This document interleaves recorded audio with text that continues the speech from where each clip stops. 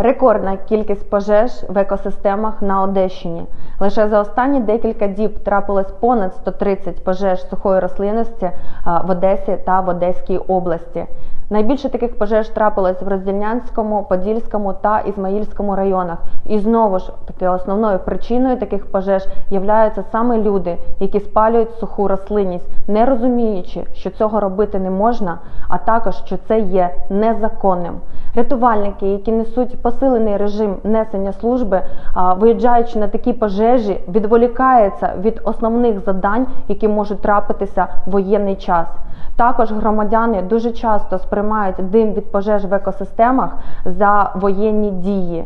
Тому ми звертаємося до усіх громадян бути свідомими, розуміти зараз, в який час ми живемо, і треба допомагати один одному, а не створювати нові проблеми. Не паліть суху рослинність, не спалюйте сміття, яке знаходиться біля дому, тому що ці пожежі, які ви вважаєте контрольованими, можуть перерости в неконтрольовані на поля, на ліси а також просто на господарчі споруди, а також домівки. Також дуже часто це може призвести до загибелі або травмування.